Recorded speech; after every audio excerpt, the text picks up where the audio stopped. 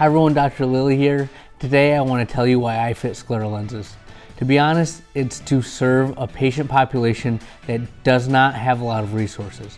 These patients have dry eye, keratoconus, numerous eye diseases, and they can't get the vision they want with traditional glasses or contact lenses.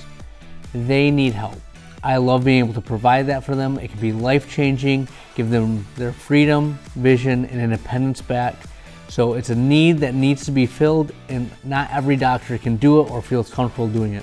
So that's in a nutshell why I fit scleral lenses.